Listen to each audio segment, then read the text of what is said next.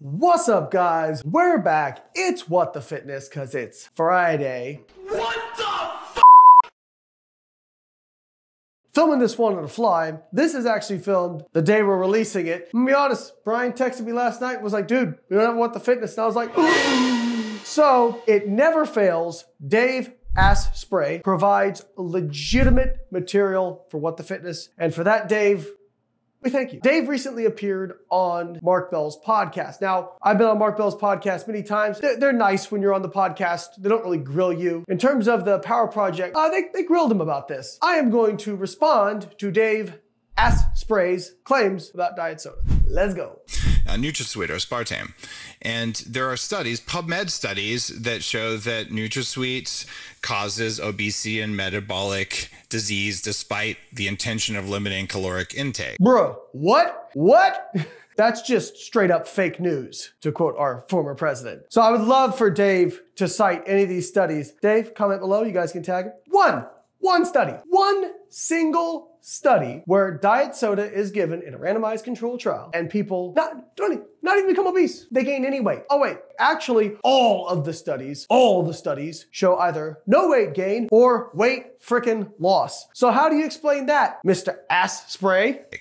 Um, the PubMed on that is 253-13461. Uh, Oh, we gonna look up this study because I feel like this study probably don't say what he's claiming it says. You can find correlation data demonstrating that obese people may be more likely to drink diet soda, but correlation is not causation. I don't know what study he's citing because we're doing this live, Fuck it. Do it live. but we'll pull up the study. And you know what? If he if it actually shows what he's saying it shows, I will do another video and I will buy bulletproof coffee every single month for a year and I will put it on my story. If there's a randomized control trial showing that aspartame caused obesity. there's lots of things going on there, and it has to do with your microbiome because this is the Ah. other thing that our calories When one of these biohackers doesn't have a reason for something, it's always it's the microbiome. friends haven't fully considered, but the guys over at Viome have definitely considered. This is, Viome is a test of what the gut bacteria, what you have, but more importantly, what they're doing. Right? And it turns out that if you feed gut bacteria something that makes them produce butyrate, well, butyrate is a short chain fatty acid that's highly ketogenic and anti inflammatory. So you ate a calorie and it turned into butyrate. or you ate a calorie and it turned into something else that didn't have those same things. So Where are you going with this, Dave? The calories in, calories out is it's not you processing them, it's a bunch of bacteria processing them. Okay. NutraSweet changes the balance of bacteria in the gut in a way that is pro obesogenic. we're, we're, we're done with this video. This is what you call hacking together mechanisms to support your point. If only we had randomized control trials in human beings. Oh, wait, we have those.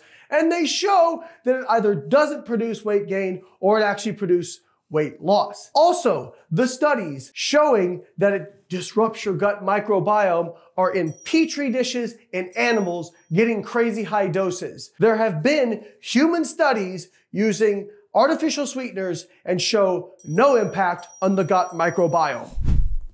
So, Dave, can you please just stop talking shit, man? Actually, I'm kidding. Don't stop talking shit. We appreciate the material. In fact, Dave Asprey is one of our favorite people here at Biolayne. You never fail to provide fuckery for us to debunk. And for that, we thank you. Breaking news. So we went and looked up the actual study that good old Asprey is referencing. And guys, this is why it's really important to actually go read studies because when I hear things like, oh, they cited these studies or this book cites these studies, I don't give a fuck, okay? Because almost every time these charlatans cite a study, they misrepresent it. So I went and looked up this study. Not only was it in rats, which is fine, my research was in rats, it was, to be fair, it was giving a reasonable dose. It was the equivalent of about uh, two diet sodas a day. So they fed two diet sodas a day for like eight weeks and fed these rats, challenged these rats with a high fat diet. High fat diet tends to make rats fat. By the way, guess what Dave Asprey rec- recommends for diet? It's high fat.